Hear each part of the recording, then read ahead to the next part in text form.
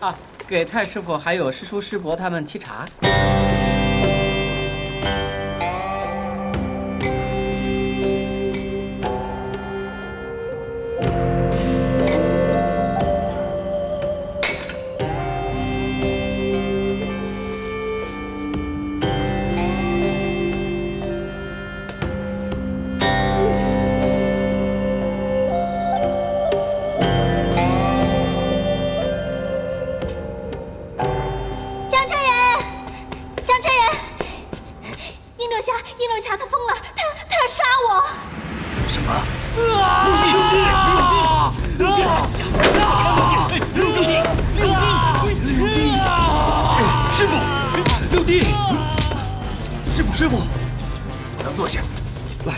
坐下。他怎么成这个样子？弟子也不清楚，我是听了不悔的喊叫声才赶过来的。啊，黎婷她是中毒了。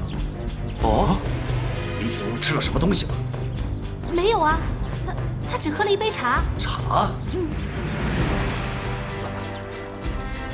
你们还有谁喝了茶？没有，清风倒茶我喝了。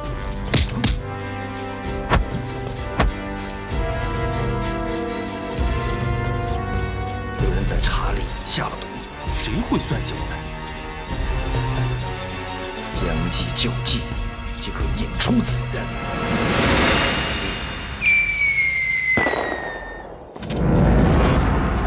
陈长老，有信号，送情书成功了。嗯嗯。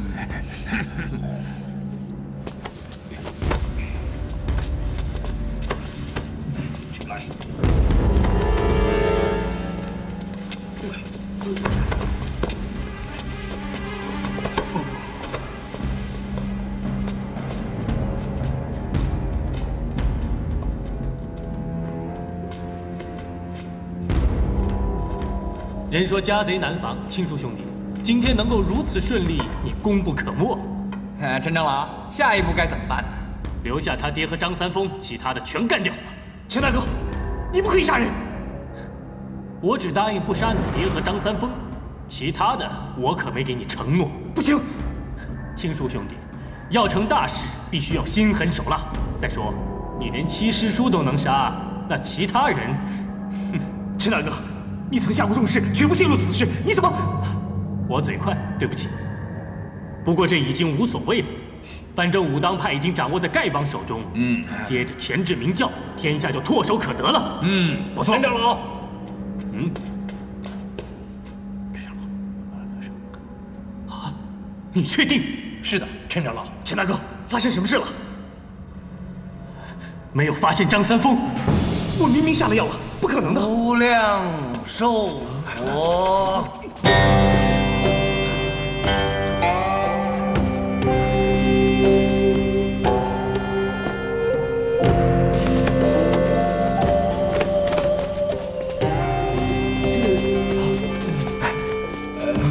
他们这是师傅，师傅，师傅，师傅，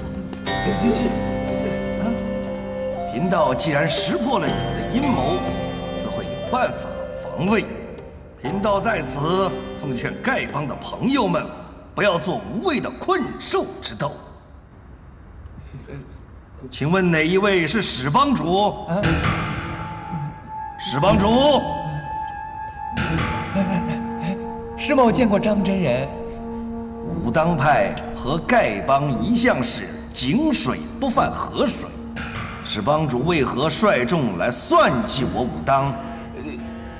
这丐帮为重振帮威，自然先拿武当派开刀，别无他意。你是丐帮八代长老陈友谅，张真人，你果然是一代宗师，慧眼洞察，识破我们的计划，晚辈甘拜下风。看这情形，我丐帮想全身而退已经是不可能的了。你们丐帮一个也别想离开武当，那就硬拼了！我们根本没把你们放在眼里，在我等一搏之下，你们也休想占得便宜！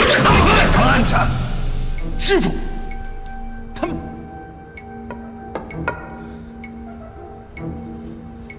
贫道乃出家之人，不忍见血溅武当山。贫道今日不计前嫌，指望贵帮主就此打住，同是武林同道，何不和平共存？呃，对，对对对对对，呃，张真人说的对，我们丐帮和武当呢，应该能和平共存。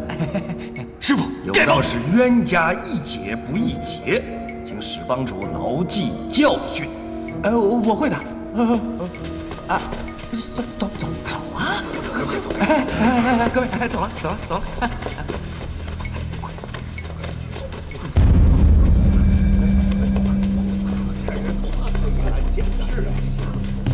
听说是你，是你干的好事情。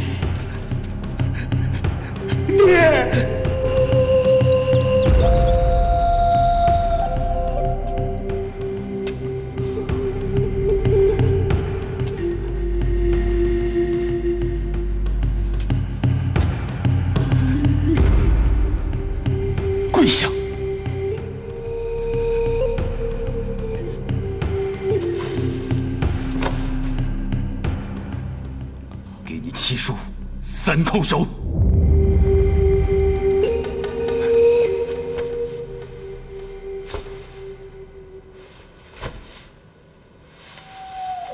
给武当列祖列宗叩首！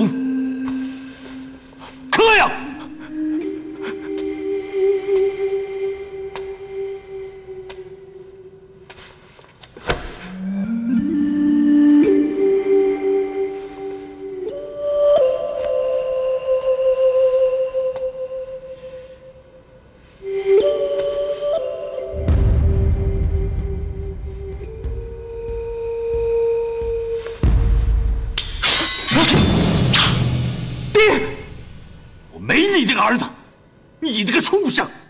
爹，你要杀我？你杀死了你七叔，我要当着你七叔的面给他讨个公道。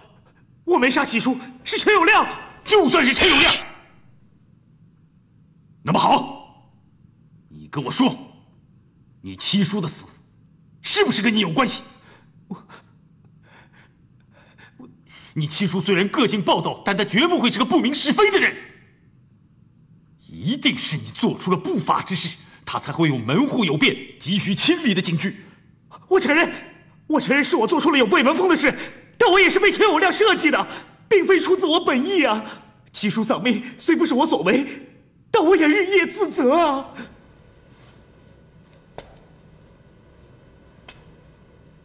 那下药的事呢？也是被陈友谅要挟逼迫的。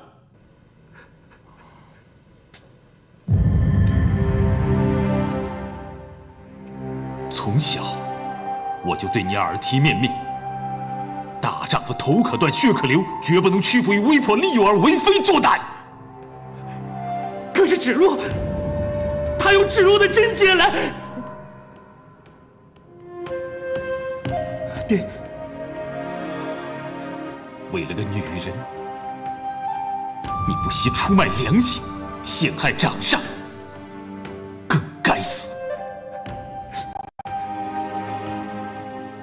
知错了。晚了，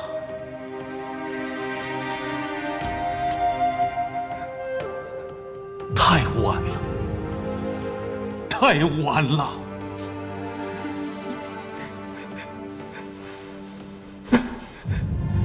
爹，孩儿从小到大没有犯过错，就这么一次，你就不能原谅孩儿吗？就一次，你就犯下了滔天大罪呀！你是一定要杀了孩儿了？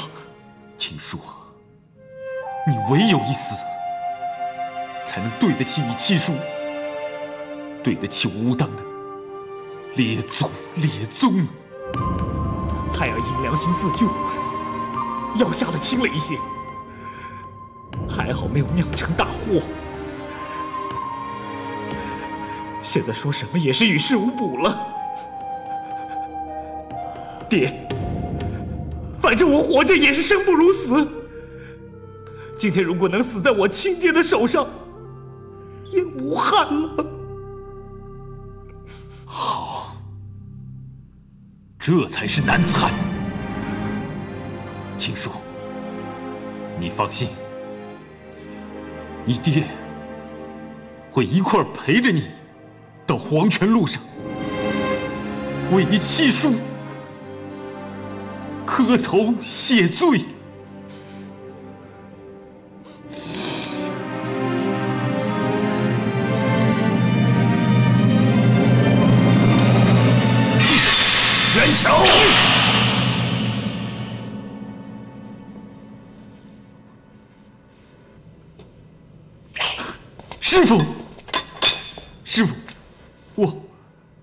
弟子生下这等忤逆儿子，差点害了武当，弟子愧对恩师。师傅，你就让我亲手宰了这个畜生吧。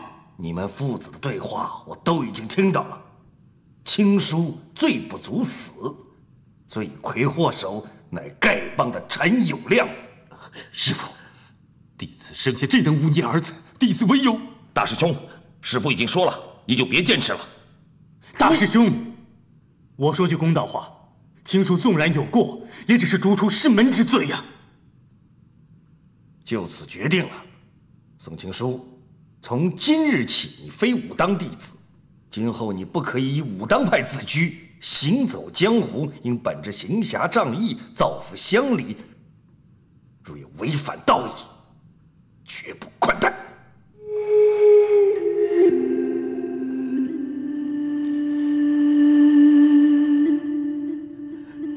亲书给太师傅，爹爹，三叔六叔磕头。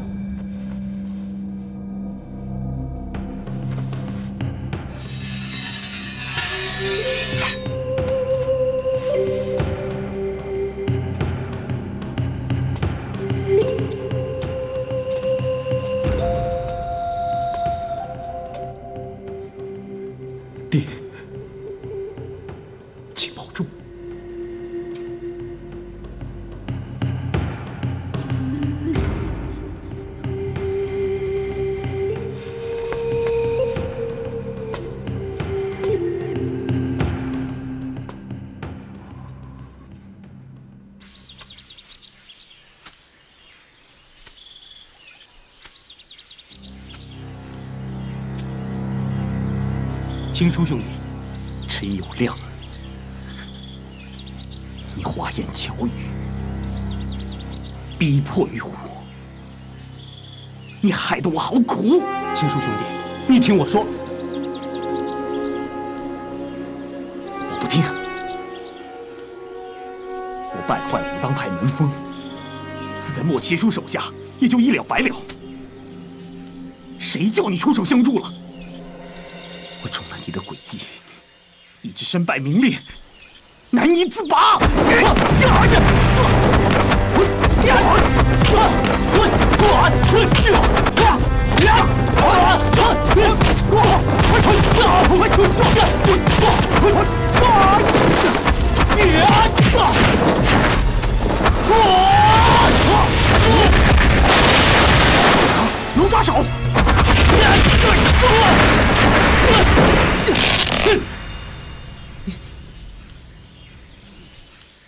是龙爪手？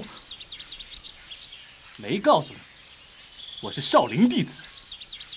青书兄弟，连少林派都可以投靠丐帮，何况是武当呢？我被太师傅逐出了武当派，我已经不是武当的人了。那就更好，你就没有包袱，可以放手大展宏图。你说什么？说句实话，像峨眉派弟子周芷若那样貌若天仙的，世上恐怕再也找不出第二个。难道你就这么甘心拱手让给张无忌那小子？再说，事情已经做了，干脆一不做二不休，马入夹道，还能回头吗？青树兄弟，我可是念在我们兄弟情分上，专程在山下等你的。好了，气也发了，就抛开过去，咱们兄弟共同创造美好的前景。来吧，先去见见芷若姑娘。